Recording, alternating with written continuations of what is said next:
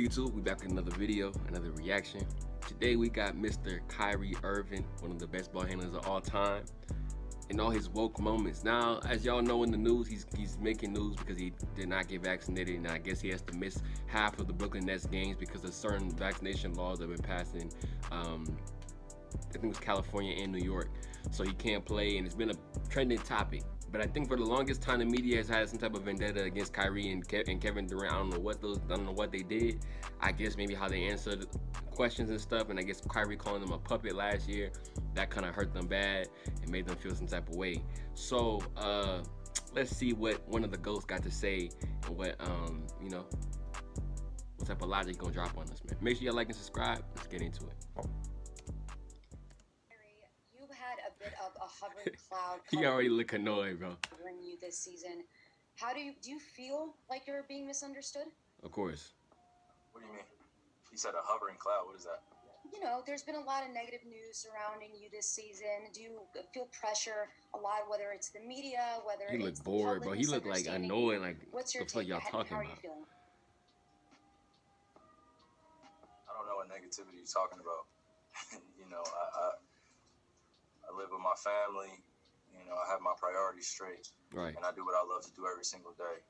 Um, anybody has anything to say about that, and that's on them. Mm. You know, I don't really consider it negativity or a hovering cloud, like you said.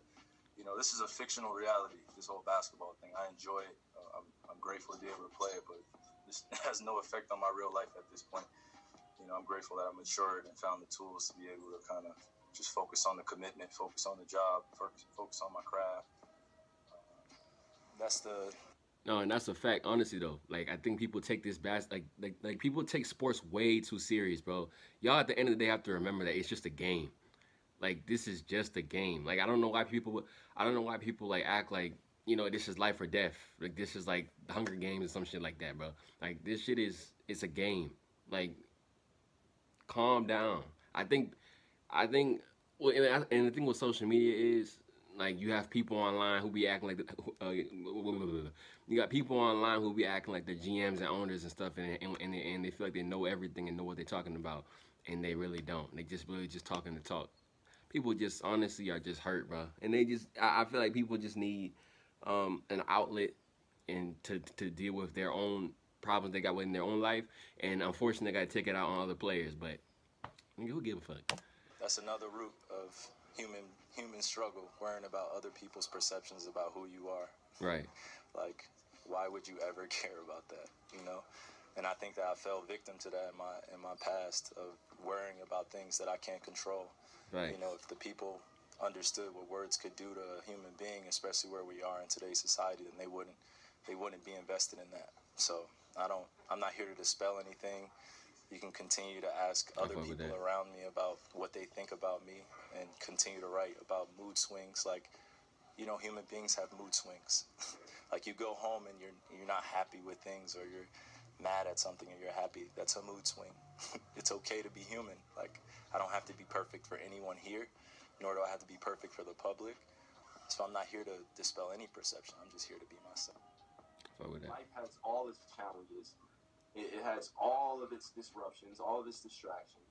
Yeah. Like I said, individually, we have responsibility to work on ourselves, to continue yep. to hone in on what keeps us peaceful. You know, what is what is love, and it's yep. how do you embrace the people around you to just continue to hey, I need to get myself right before I get back into this this role that I'm playing in, in life. You know, so I hear you on that. You know, exactly. I'm grateful to be able to share this world with so many great individuals, you know, that are doing amazing things in this world. You know, and I can't change it alone. You know, bro, that's why I mess with Kyrie, like bro. He just be himself, bro. Like you don't really care what people got to say about him. He just be him. And when you be yourself, everything you take care of. Everything will just fall into place. I feel like I know everything or anything like that. It's just about being true to yourself and right. staying rooted in, in, in what you know and the tools that you have knowledge. You know, you could allow the external world to just run you crazy for what? You know, work on yourself, meditate, Write down your goals. Meditation be changing my life, man. For real. If y'all don't meditate, please hug meditate, man. If you hug your stressing a lot, your brothers, worry about meditate. You know, talk with your family, converse about the things that are going on in the world, so you can help make it a better place, help see it a better place. You know, talk about uncomfortable conversations about what's going on in the world rather than being worried about what celebrities or entertainers are always doing or being consumed. yeah, burn the sage, bro. I don't know if it's true or not, but I be hearing that Boston is like hella racist, bro. Like, like, or, or, or I, I mean, I know most. I mean, it's the U.S. Of course, it's gonna be racist, but unfortunately, but I heard in Boston it's different. Like, it's it's it's to another level in Boston with Patriot fans, Celtics fans. Like, they just be acting out of pocket. I heard in Utah it's crazy heard too. the podcast and saw the little video on Twitter last night with the flat Earth thing. Is, is that something that you truly? Does it matter? yes. For what? Well, I mean, What's so important about that? you have millions of fans. Out of, out of all the podcasts, that's what you took out of it? The Flat Earth? I mean, you were asked again about it on camera. The fact that that could news all over the world just shows you how What does it show you? well it is. I mean, the fact that it's a social phenomenon that Kyrie thinks the world is flat is hilarious. Nigga, what the fuck? Oh, it, it was it was a Nike commercial. My fuck. But I saw this the first time. Like, bro, what?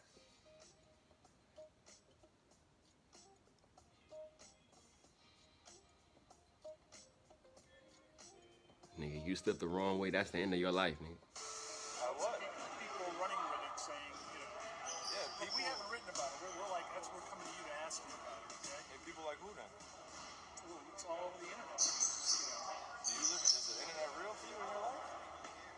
It's my life, right? It's two people talking, having a conversation. If this was a real world, would it be anybody else's business? Mm. But it's a video of somebody assuming what we're talking about, right? I hear you. Making an opinion about it. So why would I care about it? Right. Why does that have an impact on my life? Why are you asking me those type of questions? It's not so much about It's what I be saying, but I feel like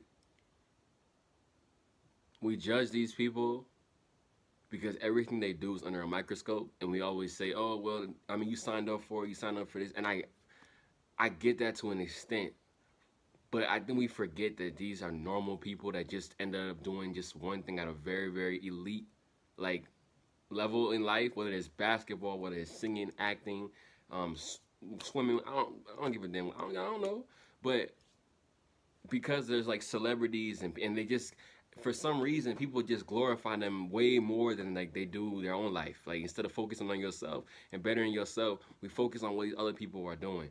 So I think with Kyrie, it's just like he just he just more about you, you know, finding a going within yourself to find what's best for you and what's and what's best for your life and your family instead of worrying about what other people are doing.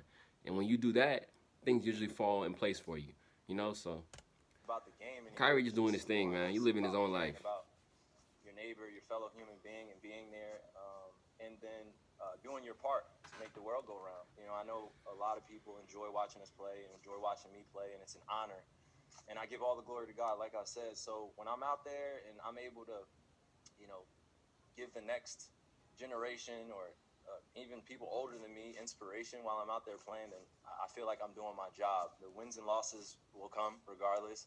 The criticism will come. The greatness will come.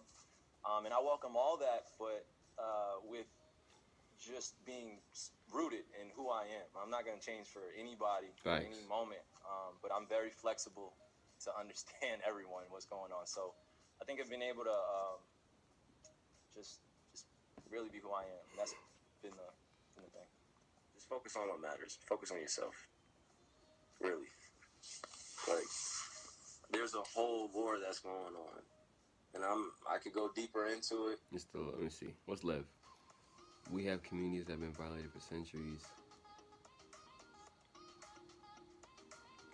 I don't want to get copyrighted.